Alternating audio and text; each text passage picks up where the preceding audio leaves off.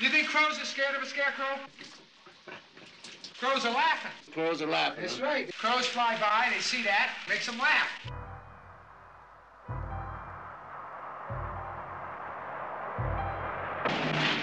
Up behind you, Truman! Eat cantaloupe! You billigan rhinoceros! Behold, the captains of industry, the prospective owners of Maxie's Car Wash, Pittsburgh, Pennsylvania. Maybe Maxie's car wash. Car wash. Yeah. Okay.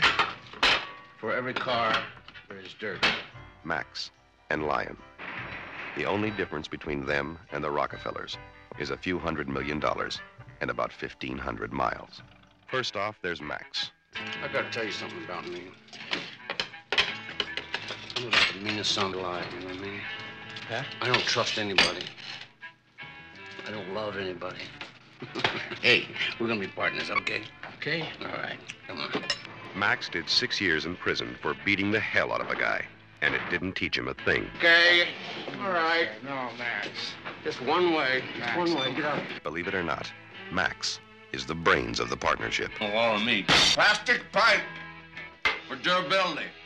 Six hundred dollars. And then there's Lion, I think your specialty is gonna be waxing. Waxing? Well, no. No, no, and um, keeping the customers happy. Lion figures if you can make somebody laugh, you won't ever need to fight. Why did you call? Stupid girl. Get out of here! Hey, Max! Hey, Max! Lion is a scarecrow. That's right. Crows are laughing. No, you don't have to hit people. Not if you make them laugh. No, crows are not scared, believe me. The crows are scared. No. And the uh, uh, Crows are laughing. Crows are laughing, right? You know, in a joint, I heard some tales, man. Oh boy, howdy! I, I, I heard some tall tales. Uh, I mean, uh, you're not playing with a full deck, man. It's been five years. You know, your wife might be married. She might have moved away. Why don't you give her a call?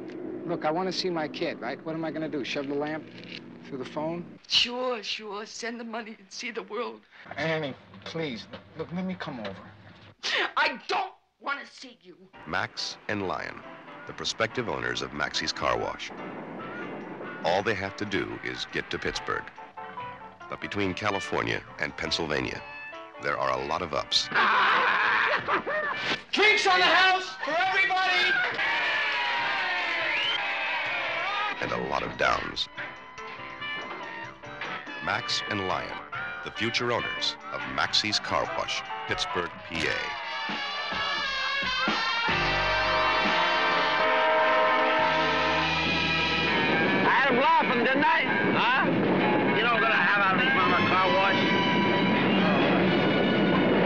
Scarecrow.